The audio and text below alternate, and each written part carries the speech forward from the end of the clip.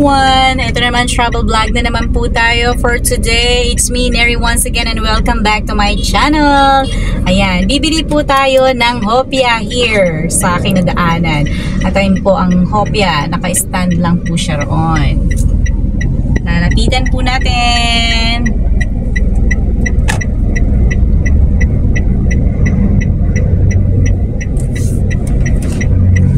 Kunin mo si ate.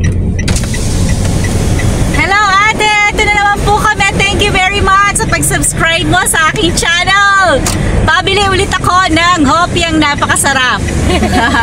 so, bigyan mo ako ng munggo, isa. Munggo, ma'am. Opo.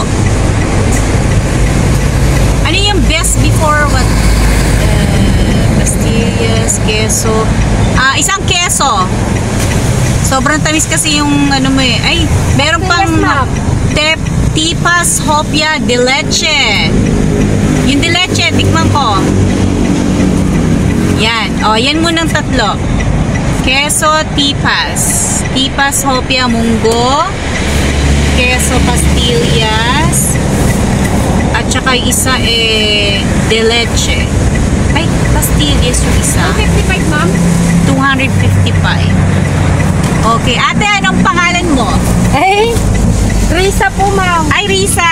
Risa ang kanyang pangalan. So, ayan, madadaanan po natin. Along the highway lang po yung kanyang ah, tinitinda at na marami pong talagang bumibili sa kanya. Kaya tangkilikin po natin ang sariling gawang Pilipino. Ayan. Magkano po ate? 255, ma'am. 255. Ano po pangalan niyo sa ano, ma'am? Neris Journey. Ate, the last time.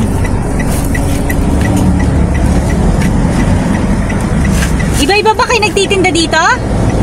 Ako, iba-iba po kami, ma'am. Oh! Kaya pala, hindi ako kilala ni ate.